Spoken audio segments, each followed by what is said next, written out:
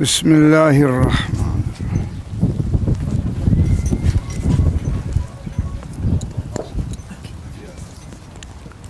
بسم الله الرحمن الرحيم.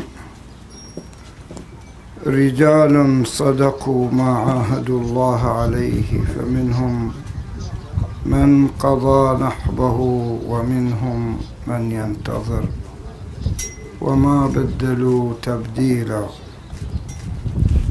السلام على الشهداء آباء الشهداء أمهات الشهداء على الأحرار الذين احتضنوا روضات الشهداء.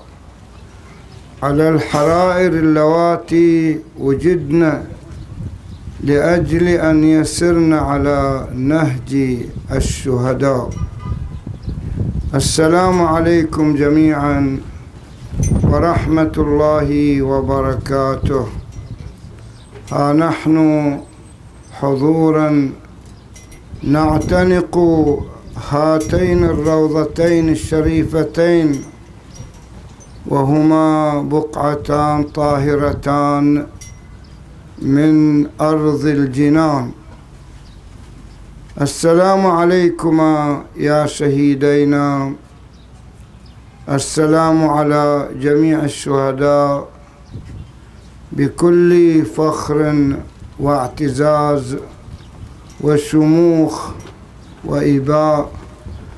أن نوفق لأجل أن نؤدي لكم هذه الخدمة القليلة تجاه جهودكم الكبيرة التي بذلتموها.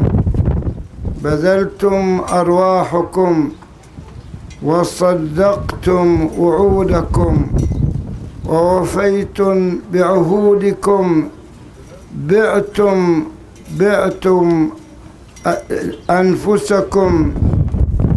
وعاهدت الله سبحانه وتعالى لأجل هذا الدين لأجل هذه العقيدة لأجل الوطن لأجل الشعب المظلوم لأجل الإباء والحرية والخلود. نعم لقد عشقتم هذا الدرب المليء بالشوك والويلات والبلاء.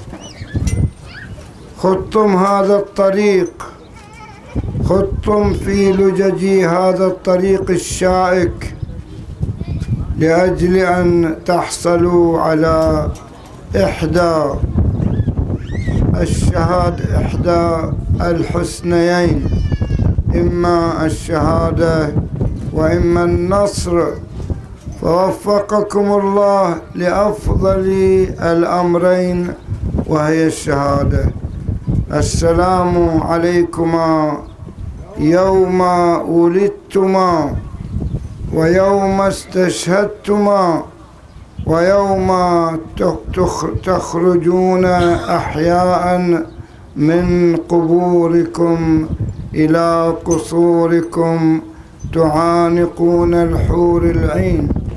أيها الشهداء لا سيما شهيدينا نعاهدكم ونقر أمام أمام كل شريف وكل حر أننا عشقنا دربكم وسننهج نهجكم. فاسألوا الله ربكم بأن يوفقنا وأن يرزقنا ما رزقكم إياه وهي الشهادة الذي لا ينالها إلا الذين اتقوا والذين هم عاملون وسائرون في خط الشهداء. خط الشوكة كيف لا؟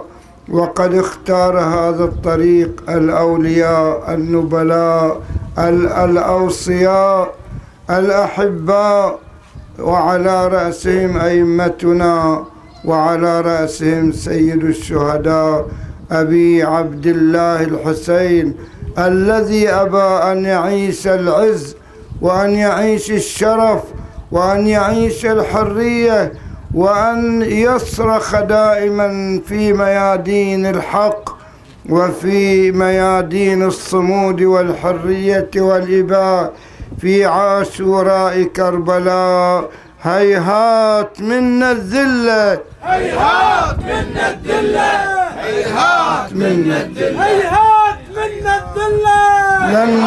منا الذلة. لن نركع إلا لله. لن نركع إلا لله. لن نركع إلا لله. لن نركع إلا لله.